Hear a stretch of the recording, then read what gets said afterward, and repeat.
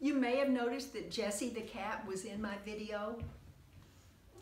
He came in and told me that if I put him in the video, it would go viral. Don't get crazy. But he's in it now.